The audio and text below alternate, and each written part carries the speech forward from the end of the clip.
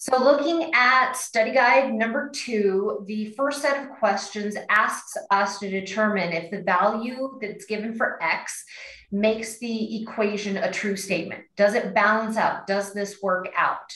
Um, and so the, the best way to do that is we are going to replace the variable with its value. Now, if we look at it, I have X plus three equals x squared minus 9 when x equals negative 2.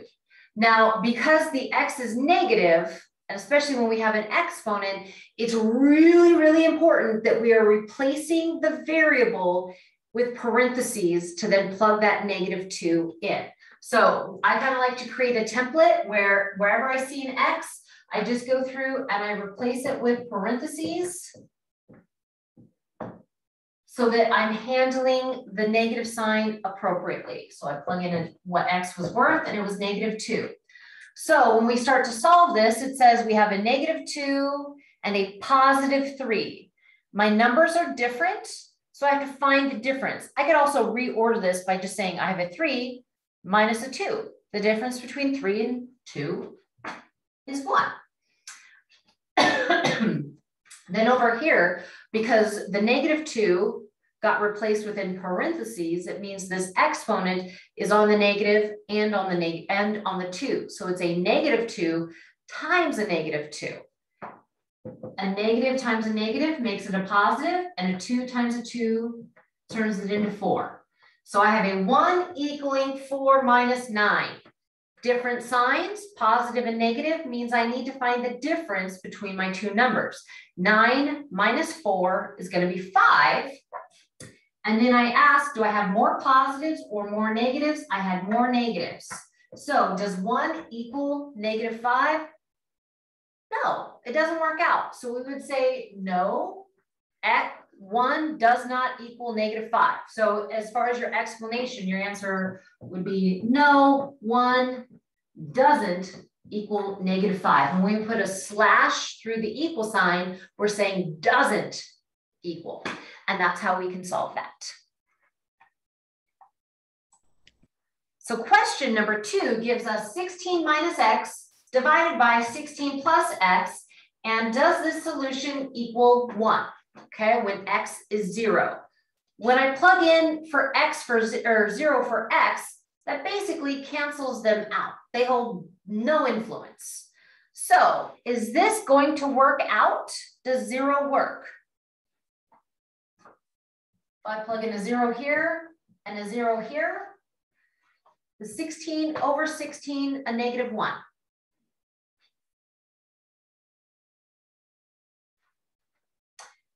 Anything divided by itself is a one, but a positive divided by a positive is a positive. So we can't divide two positive numbers and get a negative uh, quotient. So that is not a true statement. Now we're going to look at question 1c, and we need to find out, does this equation equal when x is 10? Now you might be looking at this and say, ooh, I see a lot of similar terms. We got some fours, and negative five at the end. They look really similar. So you could go ahead and plug in x or plug in 10 for all of the x's. The other thing is you can also maybe do some simplifying to see what you actually have on each side. So this can't be simplified in any way, but over here, I can eliminate the parentheses by distributing the 4x by each of the terms inside. So if I have a 4x times an x, 4 times a 1 is a 4. x times an x is x squared because anytime we have repeated multiplication, we use exponents to simplify it. Then if I have a 4x and negative 1 times, 4 times a negative 1 is a negative 4, and there's an x on that, and then I just bring down the 5. Well, if we look at that, they're equivalent. So that means it doesn't matter what x is, both sides are always going to be equal because they simplify to the exact same expression. So your answer could be yes, 4x squared minus 4x minus 5 equals 4x squared minus 4x minus 5. All numbers are going to work. So if you weren't sure about that method, we could also plug in the 10 for x. So wherever we have an x, like I said earlier, let's replace it with parentheses. So I'm going to go 4 parentheses squared minus 4 parentheses minus 5 equals 4 parentheses times, we'll make that a little bit bigger so I can distinguish it, x minus 1, big parenthesis, minus 5. Now, everywhere I had the little parentheses for the x, I'm going to plug in a 10. 10, and 10. And now I can start solving using the order of operations. I'm going to clear out uh, the exponent. 10 squared means 10 times 10, which is 100. So 4 times 100 gives me 400. Then I have um, I'm just going to go ahead and solve order of operations on this side first. Negative 4 times a positive 10 is going to give me a negative 40, and then I just have a negative 5. So then I go over here. I'm going to solve what's in parentheses first. 10 minus 9, or sorry, 10 minus 1 is 9. And 9 is then getting multiplied by the value of 4 times 10. 4 times 10 is 40. So 40 is supposed to multiply by 9 and then subtract 5. So let's simplify over here. I have a 40, 400, and I take away 40, which leaves me with 360. Then I take another way, another 5, it leaves me with 355. I could have also combined, if I have a negative 40 and a negative 5, it means I have a negative 45 that I'd be taking away from 400 and still get down to the 355. Then I go over here, 4 times 9 is going to be 36. And then since that was a 40, I just tag a 0 on. And then 360 minus 5, I get a 355. Well, 355 equals 355. So yes, X is the solution because 355 equals 355. So question two asks us to write a story problem about the perimeter of a rectangle. We should know that the perimeter of a rectangle is the outside dimensions.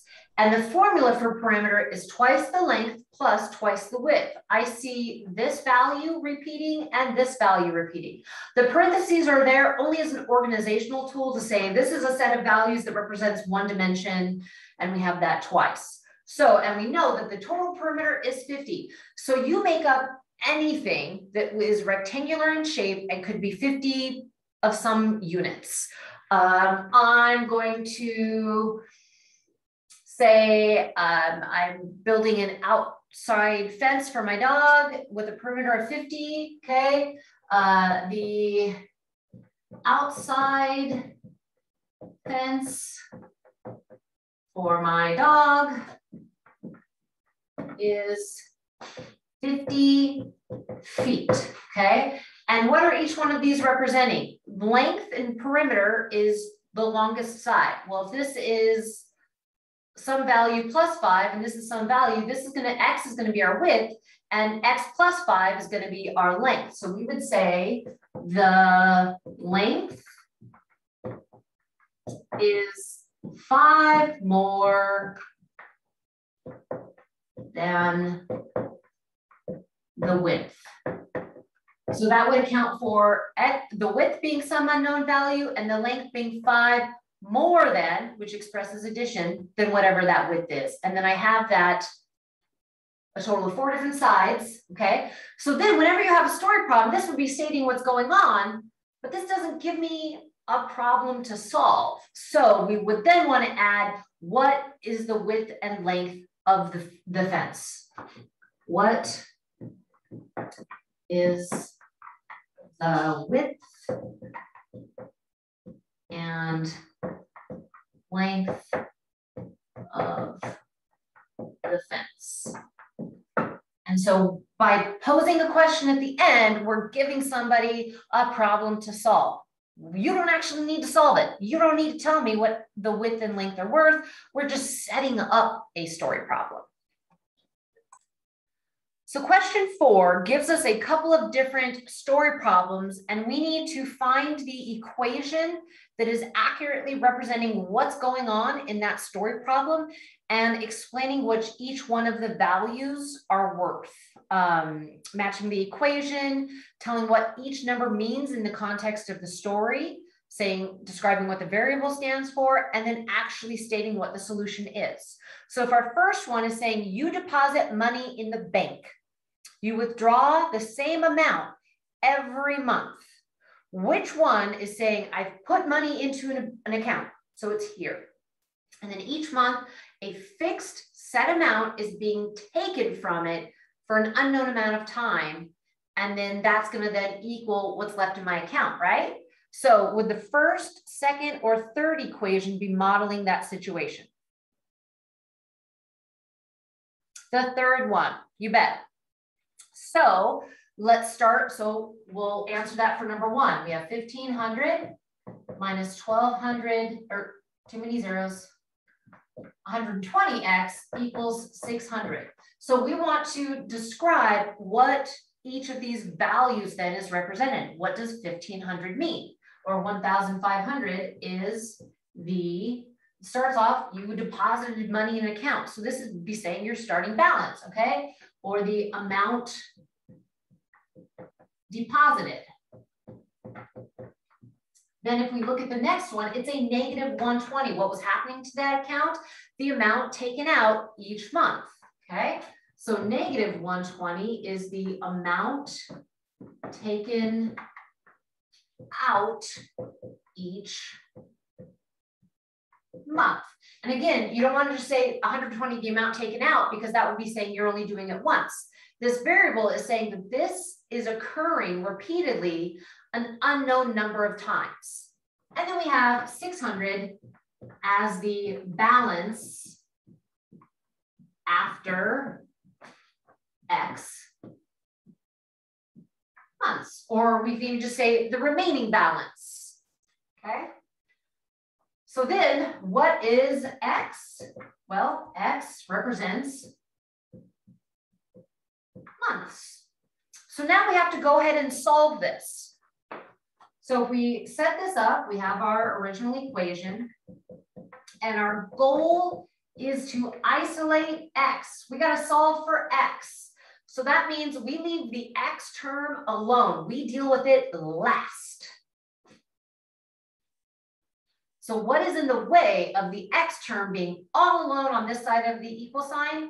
The 1500 because I have 1500, I have to then do the opposite of that to get rid of it.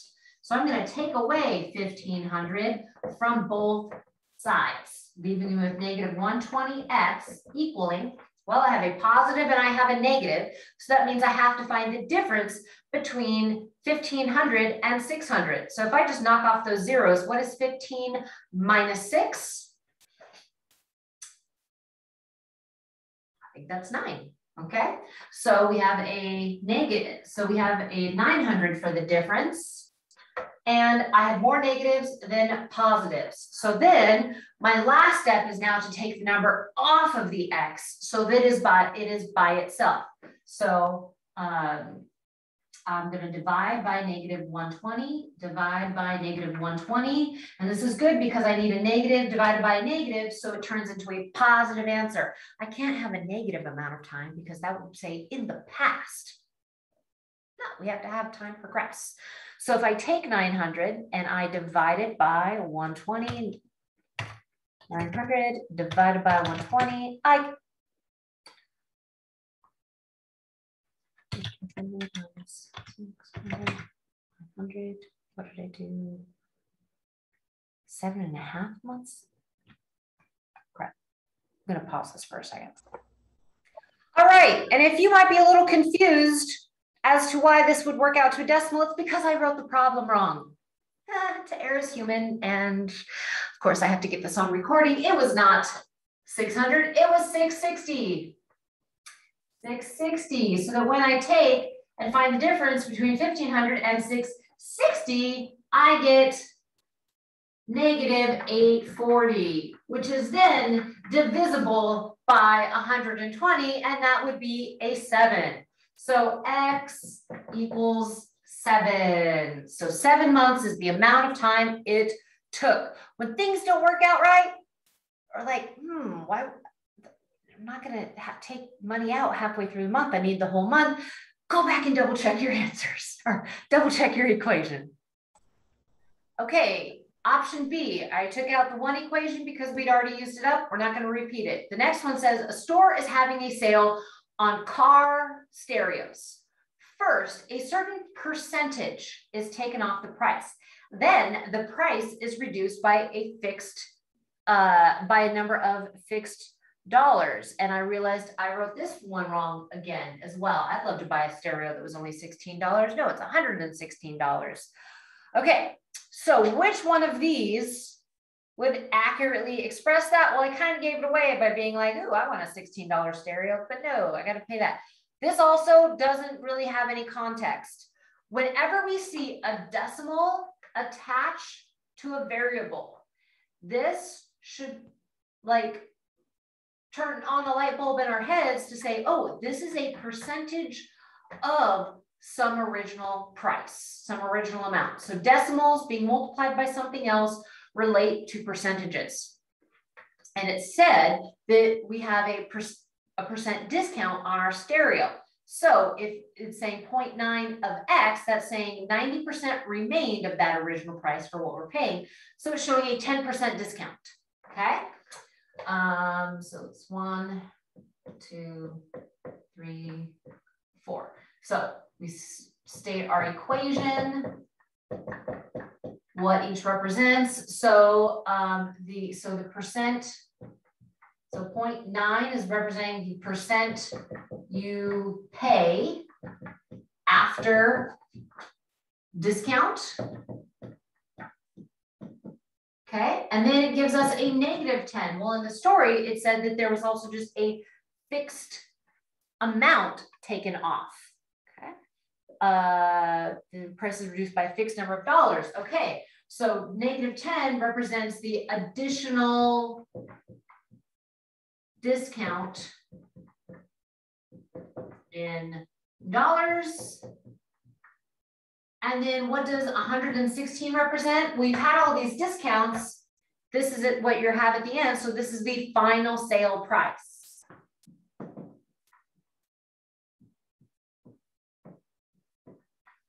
Okay. Then it asks us to identify what is X.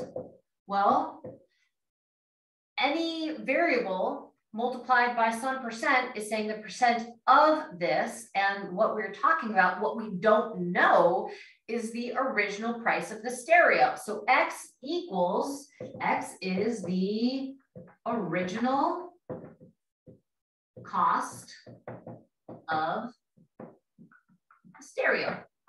Okay. So then finally, well, we got to figure out what that price is. So we'll need to start solving. 0.9x minus 10 equals 116. So our goal is to get the x term by itself, but we worry about the number on the x last. We deal with anything else on that same side first.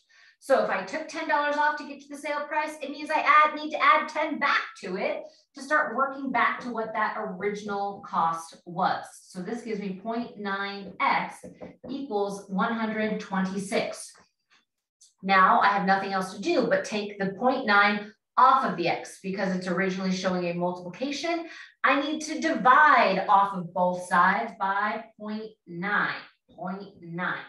And when I do that, I get my calculator. I think I already know what the price is just because I've done this a few times, but it's good to verify. 5.9, yep, 140. So that cancels out, leaving me with X and X equals 140, okay? So there's the cost of our original stereo, which then through the process of elimination, lets us know that this equation represents the last story problem. And hopefully it makes sense. Otherwise, we messed up somewhere, which, as I've proven, happens to the best of us. Okay, uh, so it says your family is installing carpet. The cost include the, the costs include the cost of the carpet per square yard, and the cost of the padding per square yard plus a fixed installation fee. So I'm just gonna be lazy and write that this is answer one. Answer two is asking us to identify what each of our numbers is worth. Okay, so we have the cost of the carpet per square yard, the cost of the pad per square yard, and a fixed installation fee. Do we know how big the living room is? No, or whatever room this is getting installed. No, it's an unknown amount, but our carpet's more expensive than just the pad underneath. So we'll say 14 is cost per square yard, I believe square yard, okay, of carpet. Three is cost per square yard of padding. 150 is the installation fee. And all of this then combines, I know I'm writing a little sloppy, sorry, total cost of carpet to get that carpet put in, bought and put in. Okay, so then the next one is, well, what is X? Well, we know we have all of these fees per square yard, but what we don't know is how many square yards we have. So X equals number of square yards. Okay, that means it's time to solve. I have 14 of something plus three of something plus 150 equaling 1102. We want to, I see I have an X here and an X here. I need to combine like terms to find out how many X's I have altogether. If I pay $14 per square yard and $3 for the padding, it means each square yard I need to purchase is costing me a total, or each square yard that I have is costing me $17. And then I have the installation fee for my total expenses. Well, I need to take out the installation fee to find out how much I spent just on the, the, the carpeting and padding. So I take away 150, take away 150, and then I'm gonna have 17x equals, and just because I want to be fast, I'm gonna go 1102 minus 150 equals 952 and then to get the X alone to find the square yardage, I divide that 952 by 17, which is gonna give me our total square yards is 56 square yards. When in doubt, it never hurts to label what your variable is representing. Question five gives us four different equations that we need to determine, is there even a solution to this? Sometimes by just looking at the rules of math or rewriting these equations, we can determine that psh, I don't even need to waste my time trying to solve this because there's no solution that can make this true. Or, oh, look at that. It doesn't matter what X is. It's always going to be true. Both sides are always going to be representing the exact same value. Or, hey, this does work out sometimes if X is a certain value, and then that means you need to find what that solution is. So looking at this first one, sometimes we don't even have to do any solving calculations and saying I have five and I'm supposed to take away twice the value two times, or yeah, no, uh, twice the value, I'm saying that wrong. The value of something times itself, and then I'm supposed to get a bigger answer. Now our brains might think, ooh, if I have a one squared, which is one, five and one is six. But the issue is this is not a part of the parenthesis. This is getting subtracting whatever the square of something is. The square of any number is a positive answer. Doesn't matter what this x is, it's getting multiplied by itself. So if it was a negative, the negative times negative turns positive. So five can't take a number away from it and create a bigger answer. So we say no solution, squared values are always positive and you can't subtract a positive away and make it bigger. Okay, uh, that's kind of a, you won't be asked to articulate something quite that complex. You just be like, is there a solution or not? For this one, we'll just say The answer is no, can't make it bigger, can't make a five bigger than it is when you take away something from it, okay?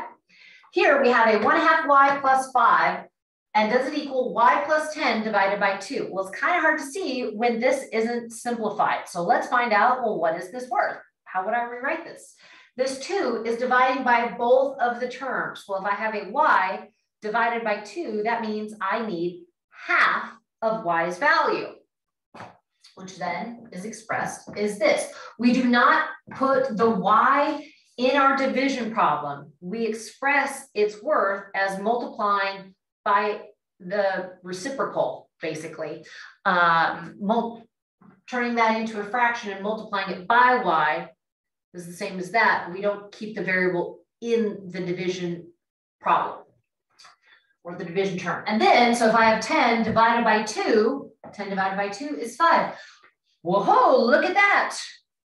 So you can say, yes, always true. They're equivalent. They are the exact same equation or expression.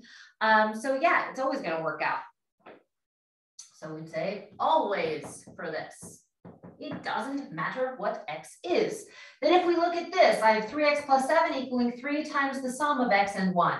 Well, I can't tell for sure whether this is going to work out if it's currently in this form. I need to simplify this and see what it says. 3 times x is going to be 3x, and a 3 times a 1 equals a 3. Well, I notice that they have the exact same variable term. So whatever I make x on one, I'm making x the same on the other, and these are always going to be worth the exact same amount, which means they really hold no influence into what our final answer is.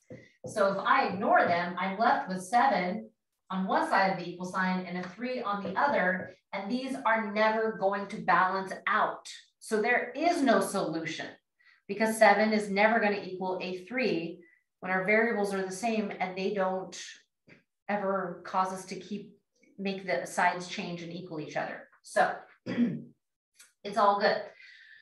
Um, and then here, is there some number we can multiply by five, take one away and have a nine? Seems reasonable to me, but let's verify that mathematically.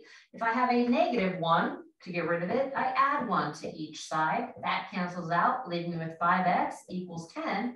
And when I divide 5 off, I get x equals 2. So this would be sometimes when x equals 2. Now, one of the things to be aware of is always thinking about also the possibility of 0 being an answer, okay? Because you might have something that looks like, because sometimes you can't have two things that'll make it right. And sometimes that answer can be a zero or a one, okay? So if I had a 2x plus 7 equals 7, you might think, ooh, ooh, well, this side's always going to be twice as big of the x. It's always going to be bigger because of this. Well, what if that went away? What if we didn't have that? What would X be that would make this disappear? X being zero. So this can become true when X is zero because two times zero is zero, that goes away and seven always equals seven. So be aware of that. Can it equal if X gets kicked out and X can get kicked out when you make it be a zero? So 6a gives us a story problem where we need to generate an equation and then find the solution to that equation. So it was saying that Amy went and decided to go get some, some organizers and found out that they were having a 30% discount on organizers. So after the discount, ignoring sales tax, the price was $59.36 is what she paid. One of the things we need to be paying attention to when we are given equations or when we are given percentages is sometimes the percentage they give us is not the percentage we care about. This is the discount percentage. Is this price the price that we saved? No, this is the price we paid. That percent does not represent the, the amount we paid. We then paid, if we didn't pay 30% of 100%, it meant we paid 70%. So this expresses 70% of that original cost. We don't need this. We just needed that to find this. So then we go back to figuring out what are the rules when we're working with percentages. One, we always convert them to their decimal equivalent. So that means if I have 70 as a whole number, I move the decimal forward two places and I now have 0.7 or 0.70. It doesn't matter um, point, we'll go ahead and do 0.70 because I'm gonna need two decimal places for the change. So we'll go ahead and just keep two decimal places in our problem. The second thing that always applies to percentages is they have to be multiplied by some larger value to have meaning. Otherwise, you're just saying no matter what the price was, you're paying, you're getting 70 cents. You're dealing with 70 cents. Well, no, it's 70 cents of every dollar that the original value cost. So it always has to be multiplied by some other value. Well, in this case, we're talking about, well, what was the original price? We don't know, so we use an X. So 0.70X. So 70% of our original price gave us the final sale price of $59.36. Now that we have that, we can go ahead and figure out, well, what was X originally? Because I have 0.70 times X, it means I need to divide by 0.70 off of both sides, leaving me with X and in the calculator is 84.8. Well, the context is money. So I need to write this as money, which means I have a dollar sign and I need a zero, two decimal place values to account for the change. So the original price is 84.80. Then I could double check that. Well, what is 30% of that? If I didn't have to pay that, I go 84, 84, 0.8 times 0.3. Thought I was in my calculator, 84.8 times 0.3. It meant I got my 30% discount. So it meant I saved $25.44. Okay. $25.44 was taken off at the register. So when I go 84.8 and I take out my discount price, guess what? I'm left at $59.36. So I know that that is the correct calculation. So be careful about the percent you use based on the context of the story. 6B gave us a story problem where Lupita's parents set up a bank account for her dorm room and Lupita's parents deposited $5,650 into her account and $550 was deducted each month. And how long did it take to reach a balance of $700? So we need to model that. What was our starting point? What was the money put in the bank account? How much was that? 5650. Okay, then what happened to that account each month? $550 was taken out. So month one, $550 was taken out. Month two, $550 was taken out. Month three, $550 was taken out. So there's this repeated deduction, but we don't know how many times it was taken out. So we have to put 550 or negative 550x to say, when we figure out how many months it is, we multiply it by negative 550 because that's how many times we took that amount out. And then we didn't want to reach zero. We said that the final balance was 700. Okay, so this is our equation. This is where we started. This is where we end. This is what happened. What does this have to be to make this all work out? So we got to isolate the x term. What's in the way of this x term being by itself? The 5650. So we take away 5650 take away 5650. And when we do that, 550x equals 495049. Yes, I worked this out ahead of time, so it went a little smoother. Okay, but then, so that was the difference between these two values. But I had more negatives than positives, so this is a negative 4950. Again, we need that so that we have a negative divided by a negative to make a positive amount for the time because we're no Marty McFly going back, going back to the future type of, yeah, whatever. Uh, I just aged myself. We're gonna move on. All right, so now my last step is to take away the negative 550 from the X or get it off of there. I have to do the opposite operation, which is division, negative 550 there. I'm left with X on the left and nine on the right. So it takes nine months to start here, end with a balance of 700 when $550 is deducted from the account each month. Plus nine months makes sense because how long is the general school term? Three quarters, which is nine months. So yay. 6C was very similar to the new shoes task that we had. And that's saying you go to the store and you see this $20, in this case, it was $20 off a purchase of $50 or more. then you get to the store and you see, ooh, it's 15% off of $20 or anything $50 or more. And you go to the register and you see that they are the same. Whenever they're the same, it means they're equal. So you need to set this up as an equation where one value is equal to the other. So it says a fixed discount of $20 off was equivalent to that $20 off?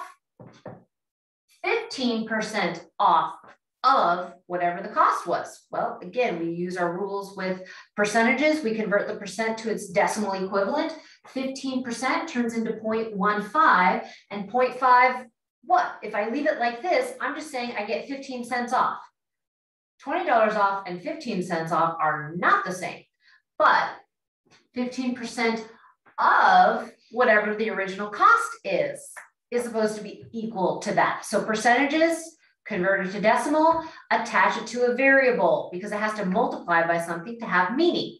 Last step is, well, now I need to get the 0.15 off of the x, so I need to divide it off of both sides. That leaves me with an x equaling 133.3333. Well, guess what? This is money. So, I guess you can't see that. This is money. So all of these extra threes hold no value. We would need to round to the nearest whole penny, which is this spot. Since this three after that is less than five, that three gets to stay a three. So our final answer is the original price is $133.33. Problem number seven gives us three different equations that we need to write to solve for a different variable. This is a really important skill because when we go into linear functions, we need to know how to rewrite equations to be able to solve for y. And sometimes those equations aren't set up that way already, so we don't need to know how to move things around. Looking at A, we see a cardinal rule being broken, and that is you have a variable in two different places. You cannot have that in your final answer. So if we have a p here and a second p here, I need to add the two together. If I have a p, numerically, that's represented with a 1. You can write a 1 if you need that visual. So if I have 1 and I have 0.08 of 1, it means I have a dollar, I have 8 cents, it means I have a dollar eight cents, but uh, 108, 1.08p equals the amount. Well, it didn't want me to just simplify p, it wanted me to solve for p. So how do I get p by itself? What's in the way of that? A multiple multiplying by 1.08. So that means I need to divide by 1.08 on each side. And that leaves me with the final equation, P equals the amount divided by 1.08. That is your final solution where you have one P variable isolated and its expression in terms of the other values. Here, we now need to solve for H. We need H by itself. What's in the way of that being by itself? The multiplying of pi and r squared. Well, I want to get that whole thing off of there. And since it's all multiplying originally, I need to divide it to make it go a bye-bye. So pi r squared, pi r squared. This lets me have h alone, h.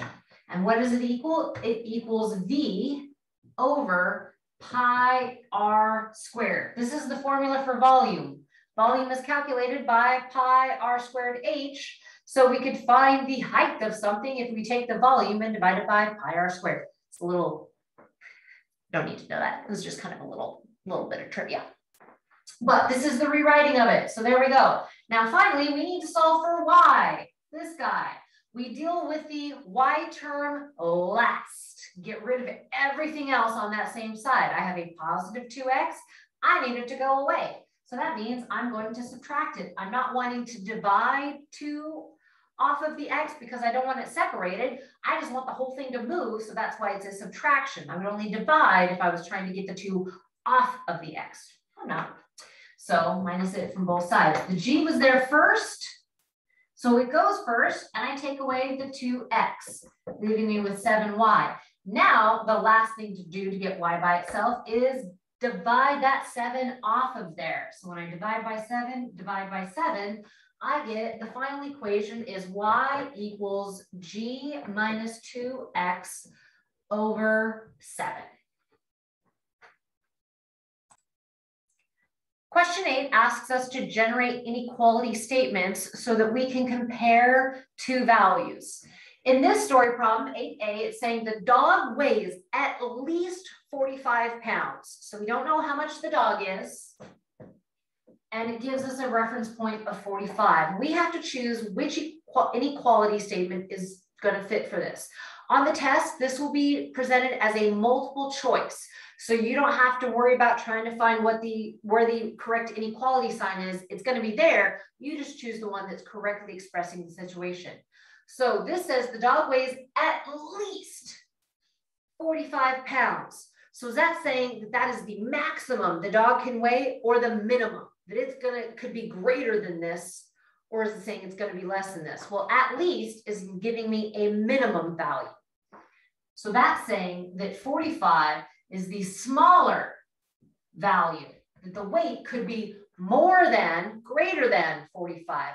But saying the at least is also indicating it could include 45. The dog could be 45 or it can be anything greater than that. So the little line under, under our inequality statement is saying greater than or equal to, which lets us include that or say anything greater than that.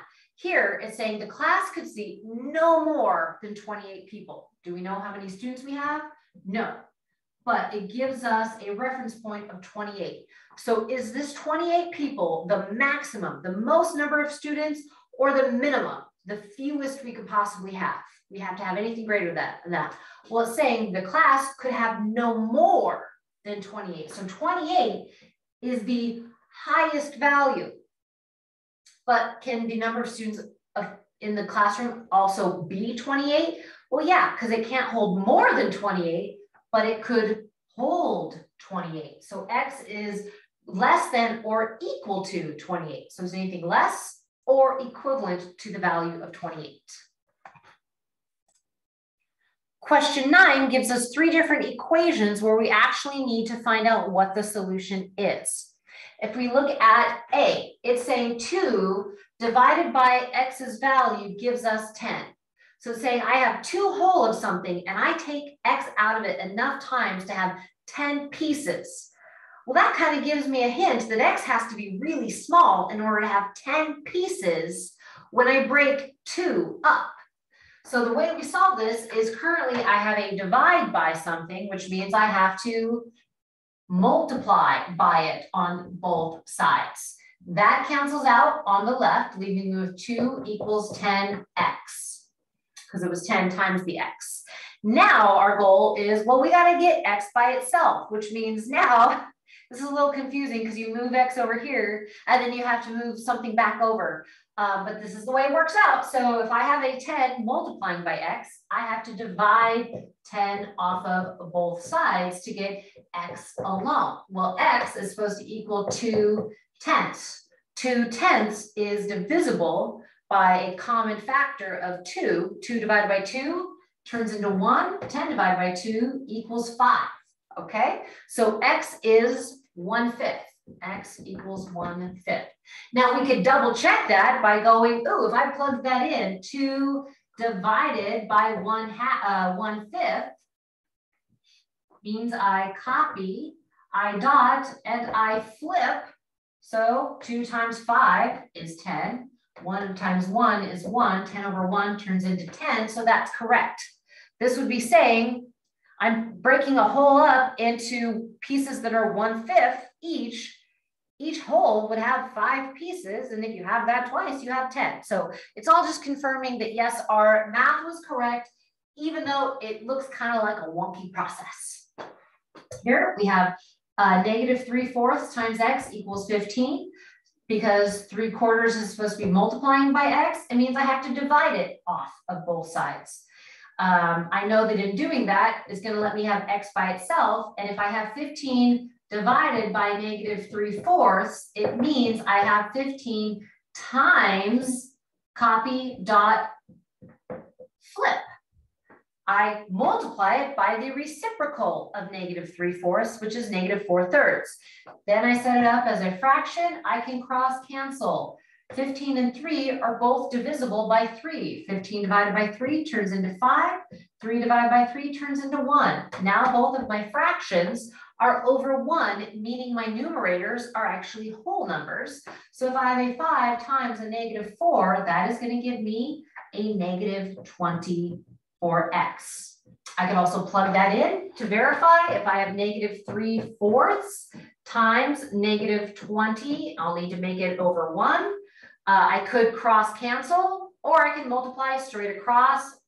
Um, I like to cross cancel. So uh, 4 can divide out of 4 and out of 20. So this turns into 1. 20 turns into 5. A negative 3 times a negative 5 is a positive 15, which was our original value. So that's correct. Then when we go to this last problem here, C, it's saying I have x plus x divided by 5 equals 12. Well, I mentioned earlier that we never have x involved in division. We have it multiplying by the reciprocal. What's the opposite of a five or what's the reciprocal of a five? It's one fifth. So I'm gonna have an x plus a one fifth of x multiplying, uh, or just the shortcut is put the x over on the side, tackle one in where it was. It's basically having us do the same thing, equals 12. I have an X here, but I also have an X here. I can't have it in two places and be able to solve for it. So I need to combine like terms. If I have an X here, numerically, that means I have a one. If I add one and one fifth, I get one and one fifth X equaling 12. I can't multiply by a mixed number, which means also then can't divide by a mixed number. So this sucker has to get converted to an improper fraction. And we just say it takes five pieces to make a whole. I have enough to do that one time, which means I have five pieces. Then I have one extra additional piece, meaning I have six out of five pieces times x equaling 12.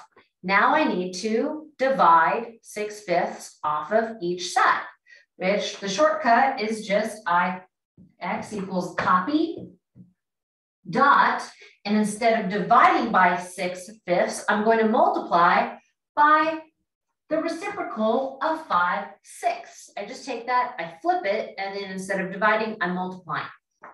And then just because I like cross canceling, it lets me keep my numbers smaller. I'm gonna go, well, 12 and six can both divide by six. That lets me turn the six into a one. This 12 turns into a two. Two times five equals 10. One, one times one means it's one on the bottom, which just means it's a whole number. If you didn't cross cancel, you could have just gone 12 times five to get 60 and 60 divided by six also gets you 10. So X is 10. And it never hurts to just double check that. So if X is supposed to be 10, that means I have 10 here plus 10 divided by 5 equaling 12. Well, 10 divided by 5 is 2. If I have 10 plus 2, it equals 12. So yes, x equals 10 for the solution to this equation. Okay, question 10, our last question. There is a question like this on the test, different context, but still the same idea of an inequality, setting up a, an equation that models what's going on and being able to solve for the unknown. So it says, uh, Monica has a budget of $2,000 to spend on a bathroom remodel. Bathroom fixtures will cost $1,200 and she hires a handyman for $45 an hour. How many hours can he work without exceeding the budget? So we need to think, what's her, how much does she have to spend? She has 2,000. Now, does this amount have to equal 2,000? No, it can be less than it. This is just our the ceiling that we have. So we're going to set this up as an inequality, saying whatever her expenses are, are less than or equal to 2000, but they can't be over 2000.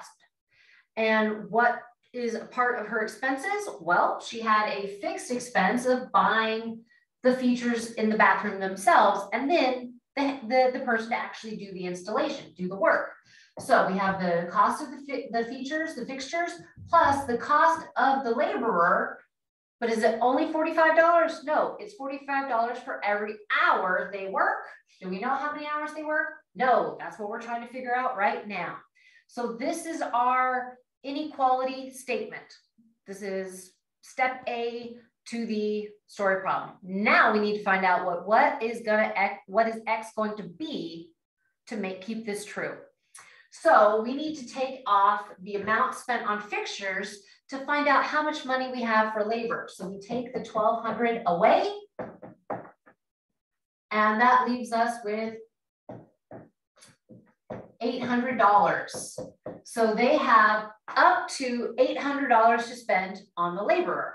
Well, when we divide how much it costs per hour, then we're able to find out that X is less than or equal to, and let me get on my handy dandy calculator, 800 divided by 45.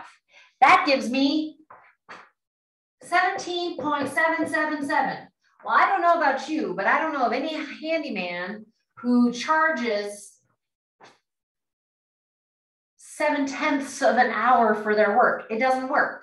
So our option, they're only doing it in whole hours. So generally we're used to saying, oh, this, this rounds up. If I had 18, if that laborer, if that person worked for 18 hours, that would be more than my budget lets me spend. It's too much. It would put me over budget.